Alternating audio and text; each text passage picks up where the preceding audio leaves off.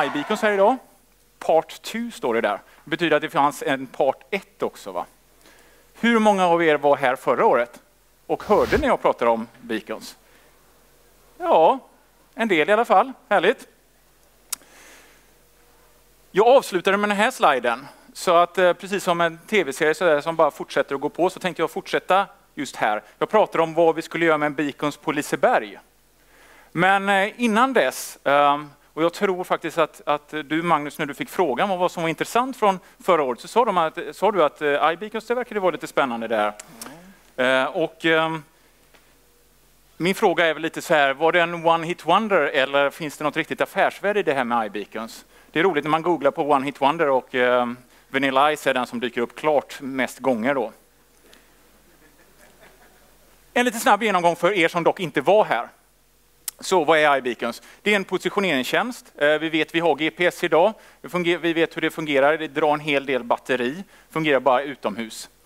Beacons däremot är eh, ungefär, kan vara så här stor, kan vara mindre, kan vara större. Har ett litet klockbatteri i sig eller större beroende hur lång livslängd man vill att det ska vara på. Upp till ett par år i alla fall. Och det är egentligen bara en liten Bluetooth-sändare som skickar ut en signal några gånger i sekunden. That's it. Den gör ingenting, den pratar inte med molnet, den gör ingenting. Utan det har användaren sin, eh, har en app i sin mobil som då kan prata vidare med andra tjänster. Så mobilen känner av och plockar upp den här eh, taggen som den skickar ut och kan då göra någonting med den. Man placerar dem här på lite olika ställen. Man kan sätta dem i affärer, i restauranger. Eh, och det var väl där mycket det kom i början, det här att det skulle vara inom retail. Man sätter ut den i lite olika avdelningar och du kan skicka ut erbjudanden och sånt där. Eh, men det finns så mycket mer användningsområden på detta. Eh, vi kan ha det i mötesrum så vi automatiskt ser när ett mötesrum är bokat. Eh, vi kan ha det som instruktioner för monteringspersonal så att man får hela tiden kontextrelevant eh, information i sin mobil. Ehm, vi kan ha det i museum som kommer fram till en tavla, kan få reda mer om den här tavlan. Det som är intressant är också att museet kan få massa information om det här. För det finns två stycken områden skulle jag vilja säga. Dels att vi levererar någonting för slutanvändaren, oftast i form av eh, relevant information utifrån det kontextet man är just då. Jag vet att jag står vid den här tavlan, antagligen vill ha information om tavlan, om konstnären. Men du kan också i bakgrunden då lagra att jaha, den här personen har varit vid den här tavlan och sedan analysera och se jaha, vilka tavlor var det som var mest intressant. Hur länge stannade de vid tavlorna? Fick man stå där länge och fundera på vad konstnären menade med det här? Och för att hantera detta då så behöver man någon typ av plattform som, som, eh, som håller hand om alla de här vi kallar det triggers för att det är inte bara beacons utan det kan vara geografiska, geografiska stängsel. Vi kommer in till det lite hur vi har använt det. Eh, det kan vara integrationer med andra system. Och sedan utifrån när man får en sån här signal så kan man då eh, göra vissa actions. Då. Till exempel visa meddelanden för en användare eller logga någonting i, i ett system och veta att en användare har varit där. Det som är intressant är också som sagt var, det är att slänga lite analysverktyg på detta. Då. Jag kommer visa lite vad man kan göra med det en kort intro till vad jag sa förra gången. Så låt oss nu besvara frågan om det finns någonting värde i detta och lite vad vi har gjort under det här året. Och låt oss gå tillbaka till den här bilden där jag avslutade. Liseberg. Ja, en av de mest använda funktionerna på Liseberg och som man vill veta i den appen som vi bygger åt Liseberg, det är vad kötiderna är. Folk hatar att stå i kö och det är förståeligt. Förra året så lanserade man Helix och ehm, ja, man kunde stå i kö en och en halv, två timmar på de värsta dagarna. Då vill man ju kanske veta det att aha, kötiden är så här lång. Så man har hanterat köer idag på Liseberg, det är att eh, personalen som står där, de tittar helt enkelt hur lång kön är och uppskattar till att eh, ja, det kanske är en halvtimme, det kanske är 45 minuter, så gör man en ny uppdatering någon gång i timmen eller någon gång i halvtimmen. Det är inte mer vetenskapligt än så. Genom att sätta en beacon i början på kön och i slutet på kön så kan vi automatiskt bara kalkylera så här lång tid tog det för en person att förflytta sig i den här kön. Och alla behöver inte ha Lisebergsappen för att, att det ska fungera. Nu är det faktiskt så att var tredje person på Liseberg har Lisebergsappen. Man måste även ha Bluetooth påslaget i sin telefon. Det har inte heller alla. Men det räcker ju att var tionde person i den här kön har det för att vi faktiskt ska kunna räkna ut den här tiden. Vad vi gjorde mer med också, det finns inte bara köer till attraktioner utan även köer när man ska komma in till Liseberg på morgonen. Och vad många inte vet om det är att om du köper eh, biljetterna på, i deras webbshop innan så får man gå förbi en fastlane där. Så vad vi gjorde var att under en viss tidpunkt då, eh, på morgonen, om man ställde sig i kön, så fick man den informationen eh, från Lisebergsappen. Och man behöver inte ha Lisebergsappen på, det kan gå bak i, i, det plingar till i fickan om man tar upp och så står det att om du går in på vår webbshop och köper biljett nu så kan du gå förbi kön in i fastlinen. Och det intressanta är att vi kunde ju då mäta i vår plattform och se hur många sådana här skickade vi ut, svarade de på det och gick de in och faktiskt gjorde ett, eh, eh, ett purchase där. Så vi kan få conversion raten direkt där och ändra ett beteende. Vi gjorde massa andra spännande saker på Liseberg. Uh, när säsongen började så var det 33 procent av de som hade uh, appen nedladdad som även hade Bluetooth påslaget, som är tvunget för att iBeacon ska fungera. När säsongen var slut, eller rättare sagt när julen hade varit, så var det 46 procent. Och det är inte så att vi eh, säger någonting i appen, om man slår på Bluetooth så, så kommer det fungera mycket bättre, utan det är överhuvudtaget dels att Apple slår på den här Bluetooth när du gör en uppdatering av eh, OS emellanåt.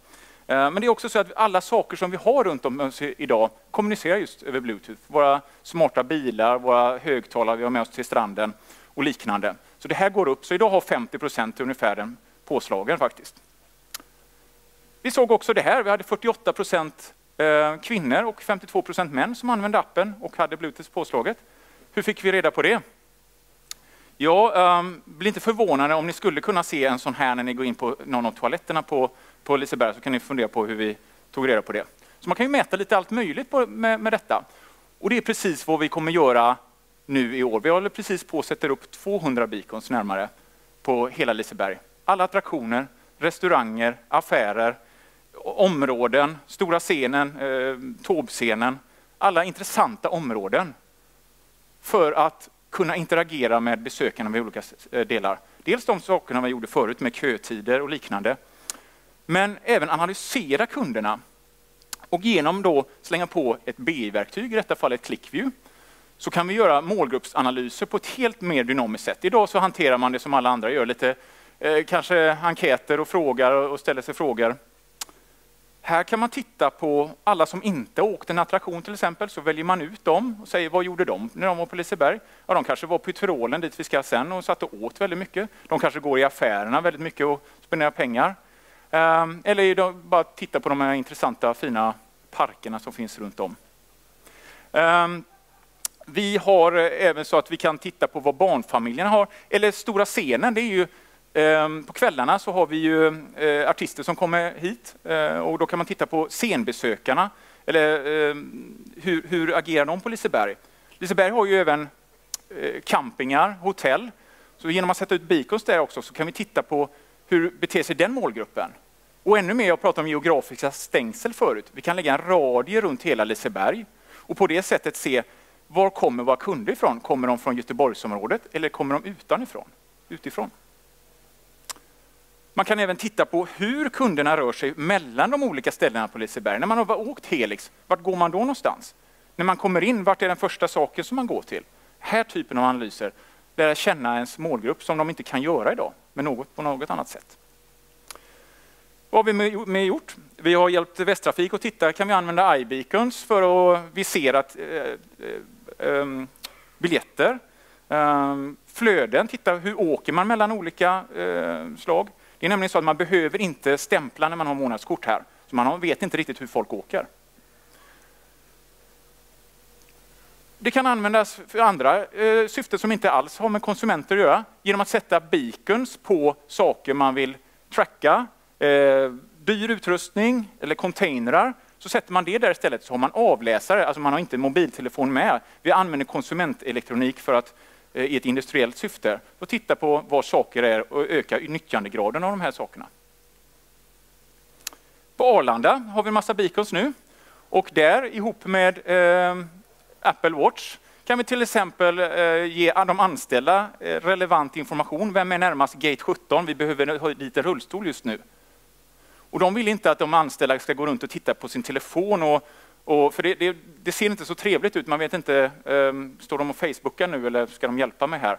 Genom att det bussar till på klockan lite och då ser jag behövs en rullstol här, kan man bara klicka lite snabbt och säga att ja, jag tar hand om detta. Och det hanteras genom att jag vet var de uh, anställda jobbar någonstans och var de är i lokalerna. Man kan även ge såklart uh, funktioner att resonera med, mäta hur lång är säkerhetskön och liknande. Sist, Stena har vi jobbat med. Vi byggde upp en virtuell färja inne på deras kontor. Och, och en färja är ju lite som en liten ministad. Det finns ju allting där. Det finns restauranger, det finns affärer.